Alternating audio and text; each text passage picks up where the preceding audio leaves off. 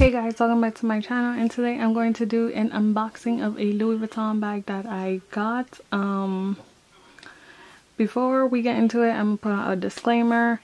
I am not bragging about it. I'm not spoiled. This was a birthday gift by my fiance. This is the last bag I have ever wanted from Louis Vuitton. I do not know much about bags. I just do a little research on the bags that I want so that is basically it. Um i hope you guys enjoyed this video. Thanks for watching and if you're new to my channel welcome. Um, any questions leave them down below. I will try to answer them to the best of my abilities the best of my knowledge.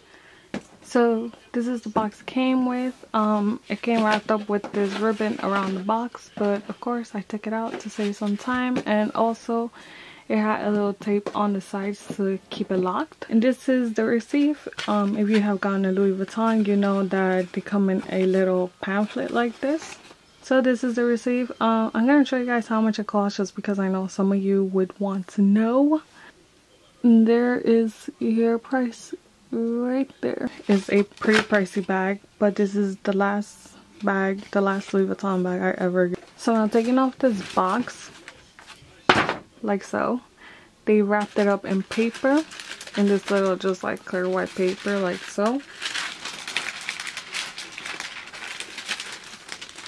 And you have your bag in the dust bag here. So I'm gonna get rid of everything so we can see what's in here. So this is how the dust bag looks and now we're gonna unveil my bag. As you guys probably know. And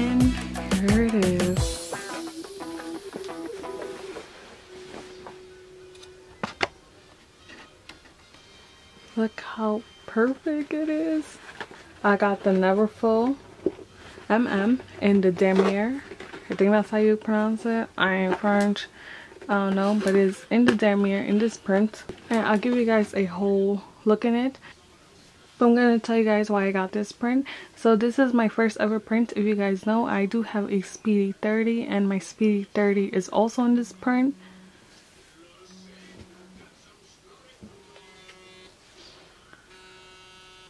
Babe is calling. BRB. Hello? Sorry, I got on the phone. I don't remember what was the last thing I said, but I think I told you guys that this is my first print. That's why I decided to stick with this print. Um, my Speedy 30 is in this print and my Zippy wallet is also in this print. So I kind of want it to match with my um wallet. And also this print here is le a less has oh my god, I just like stumble on my word. But this print here is a less hassle to take care of.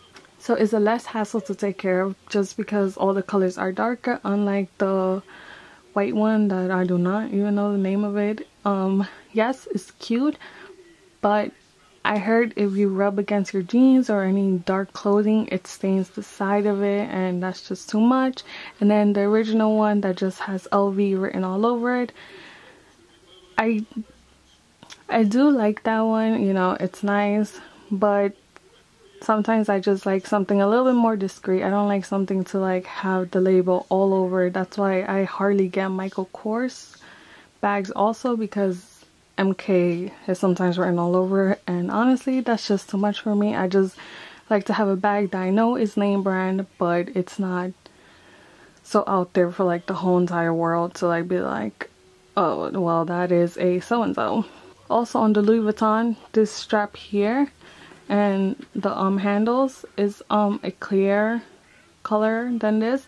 So I did find out that over time it ages it gets what's the word? I think it's patine some something like that. Again I'm not a purse person I'm just unboxing my purse so you guys can see it. And also I want to look back on this because I didn't do this with my speedies so enough about the reason why I got this bag. So this is a Neverfull MM. This is the medium size. There is a smaller size, the PM, and the big one, which is the GM.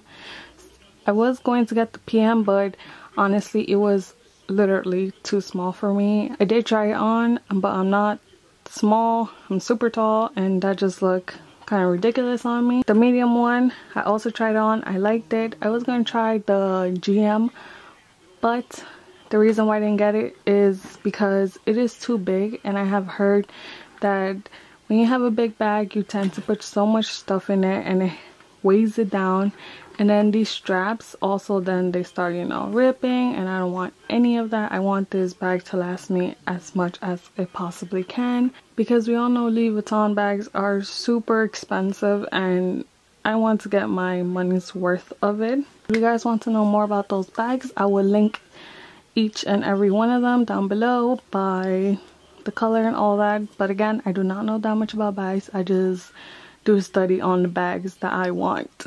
So the one thing this bag doesn't have is a zipper. It just has this little clip here that you clip it and unclip it. And basically that's all the secureness that you're gonna get. It did come with this little pouch here and the one thing I do love about Louis Vuitton is that their zippers just like glide open. Like you don't need to struggle or anything. So this is the bag. It comes with a big pouch and a medium pouch on the side of it and it is completely attached to the bag. Like so you could take it off or you could leave it on. It depends. I probably would take it off maybe i don't know here is the little clip to it right here so we're just gonna unclip that for now and it looks like that it could be like this little bag or something now I don't know if the inside of all the other ones are red. I don't think so. I think there is light brown and dark brown. But for this checker design, the inside is always red. And basically the only bag you get is this one bag here. That looks like this. What's that?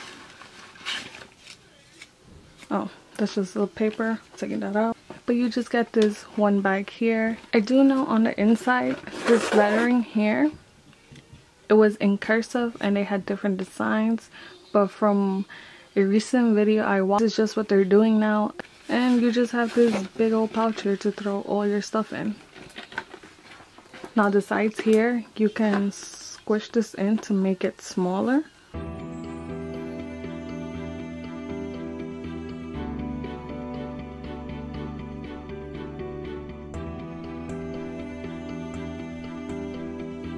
And it changes the whole style of the bag. You guys see that?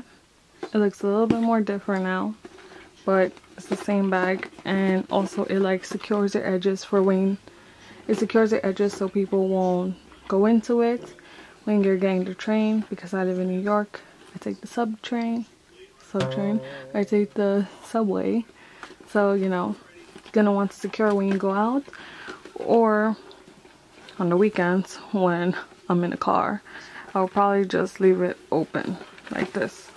So these are the two ways you could do it. Either this way or this way here. And that is basically everything about the bag. Um, yeah, pretty much it. Hope you guys enjoyed this video. Again, everything will will be linked down below. If you guys want to know more about this bag, you guys can check on the website. Links below, like I said. I hope you guys enjoyed this video and thanks for watching.